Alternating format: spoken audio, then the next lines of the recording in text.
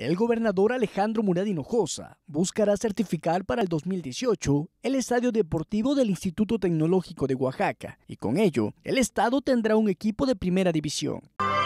Sí, el año que entra vamos a empezar la certificación del estadio este, con eh, la Federación Mexicana de Fútbol.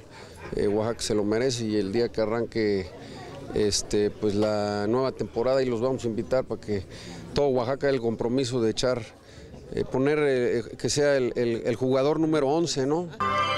En entrevista, el mandatario estatal señaló que buscará ampliar a 25 mil el número de butacas en el estadio, con la finalidad de tener la acreditación de la Federación Mexicana de Fútbol antes de la final de ascenso, a realizarse en el próximo verano. En este mismo sentido, el Ejecutivo destacó que con el triunfo de los alebrijes en este 2017, Oaxaca se lo merece para que juegue al tú por tú con los grandes del fútbol mexicano. Actualmente, y de acuerdo al reglamento de la FMF, los alebrijes de Oaxaca no podrían ascender a primera división debido a que el estadio solo tiene una capacidad de 15.000 personas y no cumple con el mínimo de 20.000 solicitado por la Federación Mexicana de Fútbol.